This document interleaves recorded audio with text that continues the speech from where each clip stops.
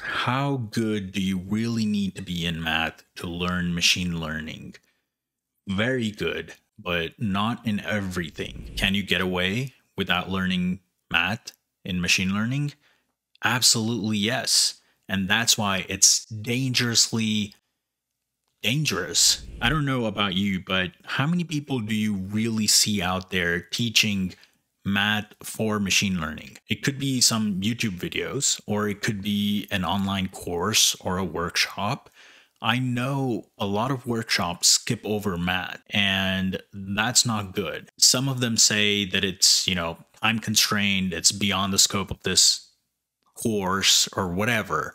Like, it's almost like there's always an excuse to skip over math.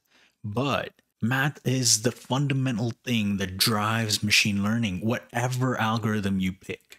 So let me know in the comments below when you took a machine learning course, did they teach you the math behind the algorithms? Because I'm very interested to know how many people know the math involved in a machine learning algorithm. Let it be linear regression or, you know, simple neural networks, whatever it is. Like how many people really know the intricate math details for that algorithm. And this is why math is very important. Let me tell you. You know, if you're learning machine learning or you you just started learning machine learning, just be aware that you can do machine learning without knowing the math, but it's very important that you know what the math behind all of this machine learning is. Look, machine learning involves a lot of linear algebra, um, a little bit of calculus, and quite a lot of statistics. So these are fundamental concepts in math that you need to know before you actually become a machine learning engineer or even a data scientist.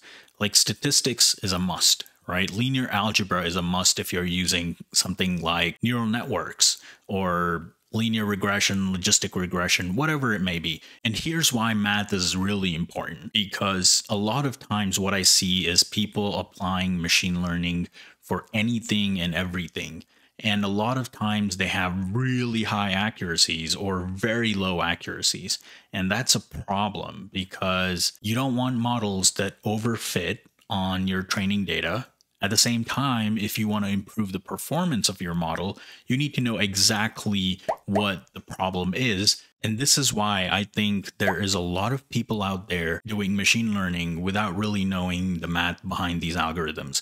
And it's not entirely their fault because, you know, you take a workshop, for example, or an online course, and they skip over the details of the math. They say, oh, okay, we get these equations. These are called, you know, activation function or, you know, some kind of a loss function that needs to be determined. Basically, do this by, you know, following some kind of a math, linear algebra, blah, blah, blah. And then they say, oh, we got to update the weights. So we do something called as backpropagation, which involves calculus. So this is not a calculus class let's just skip over it, you know, spend some time on your own, learn on your own, and they'll be done with it. That is okay. It's not on them to entirely teach you the math behind the machine learning. It's your responsibility. And I know that there are a lot of people who teach ML know linear algebra. They know how the math behind these algorithms work. But when it comes to teaching, they know that it's a lot more effort that they need to put in to refresh their memory or refresh how things work on paper at the fundamental level.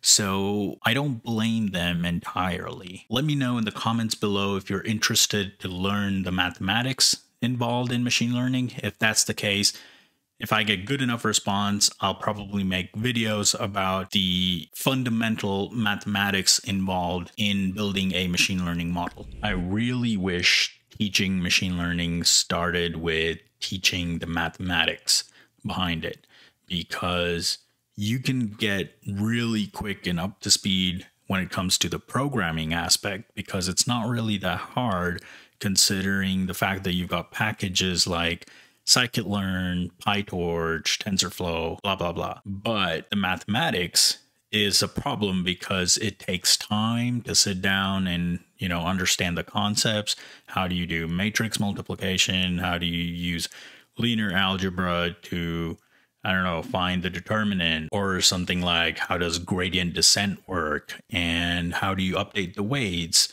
backpropagation, blah, blah, blah. What's the real purpose of the activation function and so on and so forth. So my message for this video is just two things. Number one, start learning the mathematics behind machine learning.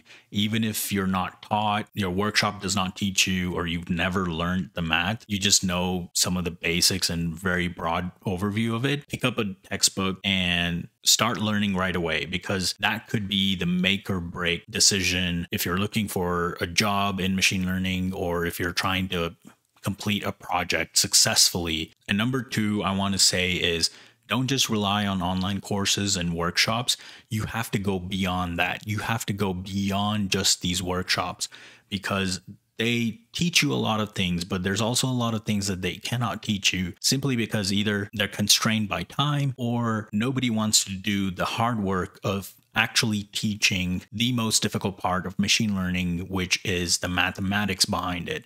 So, whatever the reason may be, I want to encourage you to go beyond just learning the basics of how to apply machine learning. Go dig up the code, the very fundamental source code, or pick up a textbook and learn the math that is being applied because that is very important. Let me know in the comments below what you think. How important is math in machine learning? How many of you were actually taught the mathematics behind machine learning? Were you taught machine learning with math? Like, how did you guys start? Like, did you start with coding or did you start with the mathematics behind machine learning? Let me know in the comments below and subscribe to the channel as always and hit the like button because it goes a long way to support this channel. So thank you all for your support so far. I will see you in the next one.